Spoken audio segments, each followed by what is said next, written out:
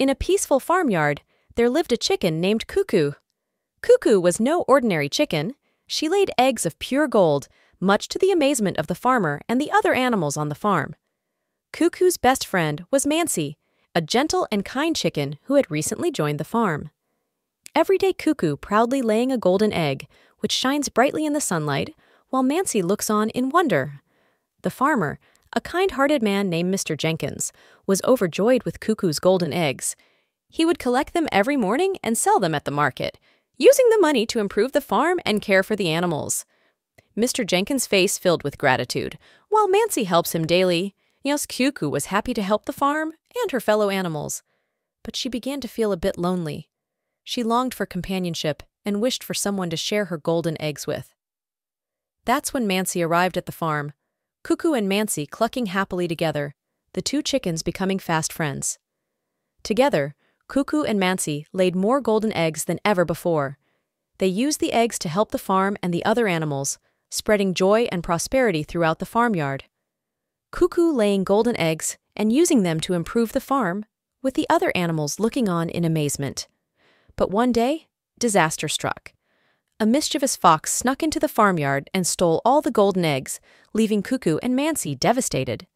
The foxes sneaked into the coop and stealing the golden eggs, with Cuckoo and Mancy looking on in shock. Determined to get their eggs back, Cuckoo and Mancy devised a clever plan. They enlisted the help of the other animals on the farm and set a trap for the fox. Cuckoo, Mancy, and the other animals setting up a trap for the fox, using the remaining golden eggs as bait. When the fox returned that night, he was caught in the trap. Cuckoo and Mancy bravely confronted him and demanded the return of their golden eggs. Cuckoo and Mancy stood tall in front of the trapped fox, their eyes blazing with determination. The fox, realizing he had been outsmarted, reluctantly returned the golden eggs. Cuckoo, Mancy, and the other animals celebrated their victory, grateful to have their precious eggs back.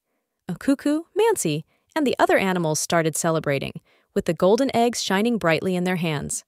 From that day on, Cuckoo and Mancy continued to lay golden eggs, but they were always vigilant, knowing that there were dangers in the world. Once upon a time, in a village nestled among the hills, there lived three dwarfs named Digger, Dazzle, and Doodle. Each dwarf had their own unique talents and quirks, but together they were the best of friends and inseparable companions. Digger, Dazzle, and Doodle in their cozy cottage, each dwarf engaged in their favorite activities. One sunny morning, the three dwarfs decided to embark on an adventure to explore the magical forest that lay beyond their village. Armed with their trusty tools and a sense of excitement, they set off into the unknown. All the three dwarfs marching through the forest, their eyes wide with wonder. Their first stop was a sparkling stream, where Dazzle spotted a group of colorful fish swimming lazily. Doodle, with his quick reflexes, caught a fish with his bare hands, and the dwarfs enjoyed a delicious meal by the water's edge. Dazzle admiring the fish, while Doodle catches one, and Digger prepares it for cooking. Energized by their meal, the dwarfs continued deeper into the forest, where they came across a field of blooming flowers. Digger, with his love for all things green, stopped to admire the flowers and even found a rare species that he carefully replanted in their garden. Digger carefully replanting the flower, with Dazzle and Doodle looking on in admiration. As the sun began to set, the three dwarfs found themselves at the edge of a mysterious cave. Curiosity getting the better of them, they ventured inside, where they discovered a hidden treasure trove of gems and jewels. The dwarfs exploring the cave and marveling at the treasures, their eyes shining with excitement. With their arms full of sparkling treasures, the dwarfs made their way back to the village, where they shared their stories and treasures with the other villagers. The three dwarfs had returned from their adventure with hearts full of joy and memories that would last a lifetime. The villagers gathering around the three dwarfs, listening to their tales and admiring their treasures.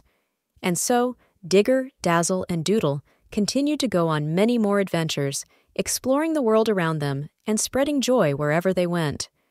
For these three dwarfs knew that life was an adventure best shared with friends. All the three dwarfs walking off into the sunset their silhouettes outlined against the colorful sky, with the happy words to enjoy watching our Artzy Monkey channel. Tom couldn't believe summer vacation was over. As he stood at the bus stop, He felt a mix of excitement and nervousness about the new school year ahead. He had spent the summer exploring the woods behind his house, playing with his friends, and reading his favorite books. But now, it was time to return to school. As the bus pulled up, Tom climbed aboard and found a seat by the window. He watched as familiar sights passed by the park where he and his friends had picnics, the ice cream shop where they had indulged in sweet treats, and the library where he had spent hours reading. Now, when he arrived at school, uh, Tom was greeted by his friends with hugs and high fives. They talked about their summer adventures and shared stories of their time apart. As they walked to their first class, Tom felt grateful for the memories he had made over the break. Oh, the day flew by as Tom reunited with his teachers and classmates. He was excited to learn new things and tackle new challenges. But as the final bell rang, signaling the end of the day, Tom's excitement turned to worry. He had forgotten to do his summer reading assignment. With only a week left to complete it, Tom knew he had to act fast. Determined to finish the book, Tom raced home and dove into the story. Late into the night, Tom read about the adventures of the characters and the lessons they learned. He found himself drawn into the world of the book, forgetting about his worries and focusing on the journey of the characters. Ah, honey, when he finally finished the last page, Tom felt a sense of accomplishment. He had completed his assignment and discovered a new favorite book. As he drifted off to sleep, Tom looked forward to the adventures and challenges that the new school year would bring. Now, Tom would like you to subscribe and keep watching Artzy Monkey Channel. In the heart of a bustling kingdom, there was a legend whispered among the townspeople about a mystical golden spoon. It was said that whoever possessed this spoon would be blessed with endless food and prosperity. One day, a young girl named Alara heard about the legend and became intrigued. Determined to find the golden spoon, she set off on a journey across the kingdom. She searched far and wide, asking every person she met if they knew of the spoon's whereabouts. After many days of searching, Alara stumbled upon an old wise woman who claimed to know the location of the cross of the golden spoon. The woman told Alara that the spoon was hidden deep within the enchanted forest, guarded by a fierce dragon. Undeterred by the danger, Alara ventured into the forest, guided by the woman's directions. As she approached the dragon's lair, her heart pounded with fear. But she remembered the stories of the golden spoon's power and pressed on. When she reached the dragon's lair, Alara found the golden spoon lying atop a pile of treasure. With trembling hands, she reached out and grabbed it. To her surprise, the dragon stirred but did not attack. Instead, it spoke to her in a gentle voice. You have shown bravery and determination, young one. The dragon said, You are worthy of the golden spoon's power. Alara thanked the dragon and hurried back to the kingdom, clutching the golden spoon tightly. Appa, as soon as she returned, eh, she tested its powers by stirring a pot of plain water.